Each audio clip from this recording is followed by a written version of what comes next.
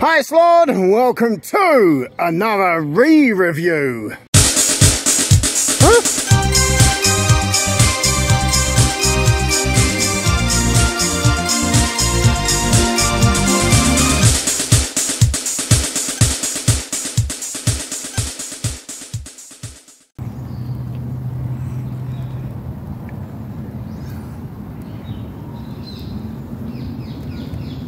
Right, so it's the Monster Energy Ultra Red. 500 millilitres, 16 calories, and 150 milligrams of caffeine. Zero sugar. There's all the details. Back in the day when I used to do the Monster Energy drinks, I mean, right back in the day, one of them was this one.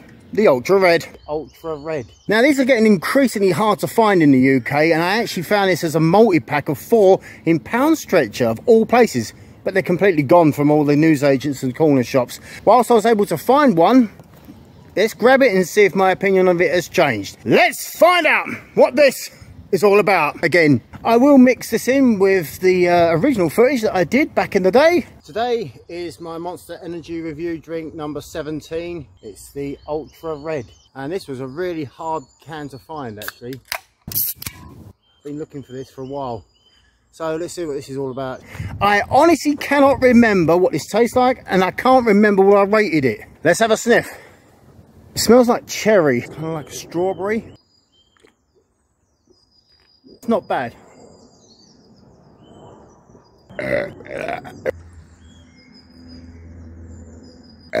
Better than some of the other shit that I've had. This has been the hardest one to find. Okay, so let's remind myself of what the Monster Ultra Red tastes like.